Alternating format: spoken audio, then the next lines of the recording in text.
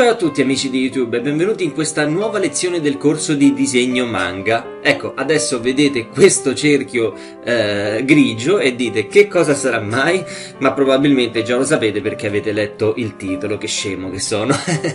eh, quindi la sorpresa è stata svelata da me stesso. Va bene, comunque sapete che stiamo parlando della luce e delle ombre, siamo arrivati a un punto importante del, del nostro corso, avete raggiunto una certa capacità e quindi adesso è giusto è importante cominciare a trattare di questo argomento che è un pochino più spinoso però insomma eh, è importante perché ci aiuta a, ad ottenere una tridimensionalità che altrimenti non avremo. Quindi da questo video in poi faremo una serie di lezioni proprio incentrate sul disegno delle luci e delle ombre.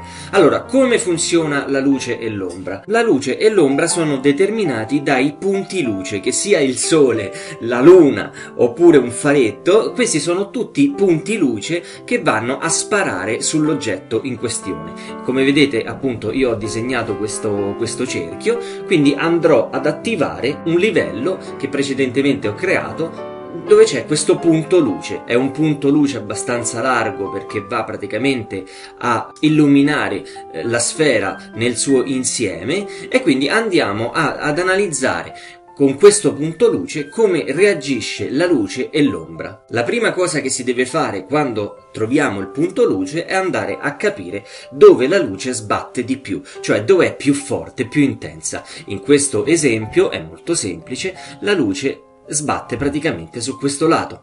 Quindi su questo lato, sul lato diretto della luce, avremo una luce intensa e quindi andrò a disegnare su questa sfera grigia una sfumatura bianca. Ora, di riflesso, per andare a trovare l'ombra, basterà andare a trovare la parte subito posteriore a questa luce. Quindi l'ombra si genererà qui, nella parte posteriore, perché qui la luce non arriva. Bene? Da questo punto nero a questo punto bianco avremo tutta una serie di gradazioni, eh, quindi di sfumature che, grigie, che andranno praticamente a, eh, ad arricchire il colore perché il colore di questa sfera cambierà eh, in base appunto alla luce. Come potete vedere adesso questa sfera che prima era semplicemente un puntino grigio eh, ha ottenuto una sua tridimensionalità, una sua bellezza e quindi questo ad indicare quanto è importante nel disegno andare a disegnare le luci e le ombre perché vanno appunto a, ad enfatizzare il disegno stesso, ad arricchirlo e a dare una tridimensionalità che altrimenti non ci sarebbe. Bene, andiamo adesso ad a aggiungere un altro punto luce. Quindi in questo caso noi non abbiamo più un punto luce che eh, spara sulla sfera, ma ne abbiamo due e quindi c'è da fare un ragionamento completamente diverso rispetto a quello che abbiamo fatto prima. Anche se comunque la base è quella. La prima cosa che dobbiamo fare è andare a trovare il punto luce più intenso, cioè dove la luce è diretta. In questo caso lo sapevamo, si trova qui. E però dobbiamo aggiungere un altro punto luce perché anche qui c'è la stessa intensità di luce perché c'è un altro punto luce. Va bene? Quindi avremo una cosa del genere. E quindi di riflesso il punto di ombra più intenso si troverà solamente in questo punto, solamente nella parte più bassa. E poi andremo a, come abbiamo fatto prima, a determinare tutta una serie di sfumature di grigio. Ed ecco che in maniera piuttosto semplice abbiamo eh, creato le luci e le ombre su questo cerchio eh, utilizzando stavolta però due punti luce. Andiamo avanti, andiamo adesso ad aggiungere un punto luce più piccolo. Ok? Vediamo come reagisce questa, eh, il disegno di questa, di questa sfera, le ombre, in base a questo nuovo punto luce. Si parte sempre da questo lato, quindi qui il discorso non cambia, qui invece cambierà perché la luce è meno intensa e quindi non andrà ad avvolgere completamente la sfera, ma creerà solo una zona di luce, ok? Laddove arriva il fascio, vedete questo, il, questo, il fascio dove arriva? Ecco, all'incirca dove arriva il fascio verrà appunto aggiunta la luce. E poi andiamo a trovare il punto di ombra che si troverà nel lato opposto, però non andrà praticamente fino a sopra come abbiamo visto prima perché qui c'è un altro punto luce e quindi si fermerà qui.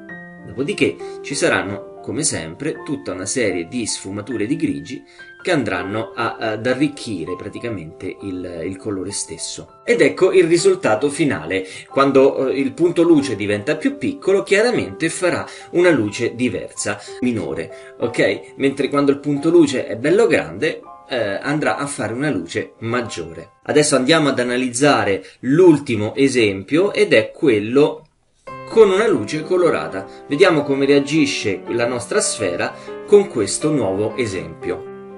Abbiamo detto che qui abbiamo il nostro mm, punto luce, laddove sbatte praticamente la luce più intensamente, poi abbiamo detto che qui ci sarà il punto di ombra perché questo, questo fascio di luce è grande come quell'altro, vedete, e quindi eh, va ad avvolgere completamente la sfera mentre da quest'altra parte noi avremo una luce, però sarà colorata, va bene?